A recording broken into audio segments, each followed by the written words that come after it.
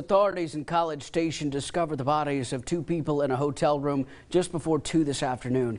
81-year-old Edgar Lewis Hotz Jr. and 85-year-old Susan Love Drost were found after college police were called about a welfare check at a Motel 6 near the intersection of Texas Avenue and Brentwood Drive. Investigators are not saying how the two people died, but they believe this is an isolated incident and there's no danger to the public.